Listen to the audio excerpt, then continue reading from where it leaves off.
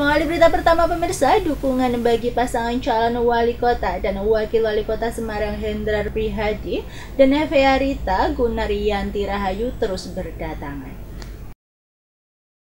Pengukuhan sahabat Hendrar Prihadi atau SHP dihadiri langsung bakal calon wali kota Semarang Hendrar Prihadi yang merupakan wali kota Semarang aktif Jumat malam. Hendi Sapan Akrab bakal calon wali kota Semarang mengukuhkan pengurus sahabat Hendra Prihadi dari 13 pengurus kelurahan wilayah Kecamatan Genuk. Selain pengukuhan, sahabat Hendra Prihadi Genuk juga melakukan deklarasi pendukung dan memenangkan pasangan Hendi Ita pada Pilwakot Semarang 2020. Dalam sambutannya, Hendi menekankan kepada relawan agar terus gencar mensosialisasikan Pilwakot kepada masyarakat pada tanggal 9 Desember mendatang.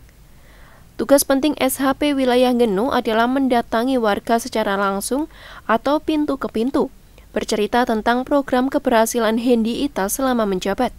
Selain itu, memastikan kepada warga bahwa protokol kesehatan COVID-19 di tempat pemungutan suara berjalan dengan prosedur. Nah, salah satu relawan yang cukup aktif adalah SHP, Sahabat Jenderal Biadi. Paling tidak ini sudah separuh pembentukan pengurus SHP di kecamatan-kecamatan di kota Semarang. Salah satunya di Genuk. Jadi saya ucapkan terima kasih. Tugas utamanya pasti menyampaikan pada masyarakat satu, tanggal 9 Desember ada coblosan Bewakot. Yang kedua, supaya masyarakat berangkat ke TPS. Yang ketiga, bercerita tentang program-program keberhasilan Hendita. Dan keempat, jadi bagian daripada kekuatan Hendita untuk menangkap Bewakot. Sementara itu, Ketua SHP Genuk, Sutrisno menargetkan kemenangan di angka 90% bagi pasangan Hendi Ita di wilayah Genuk.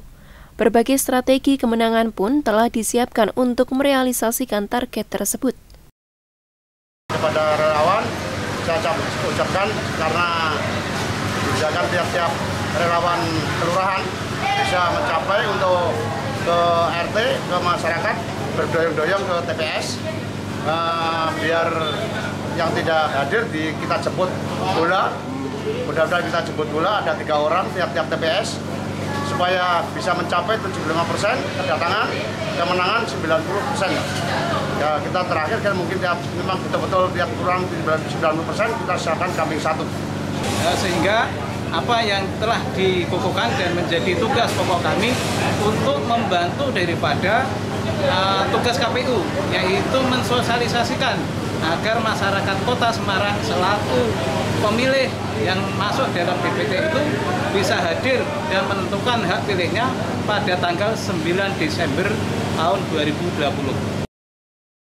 Hingga batas akhir masa pendaftaran calon wali kota dan wakil wali kota Semarang 2020 di KPU berakhir, hanya pasangan Hendi Ita yang melakukan pendaftaran.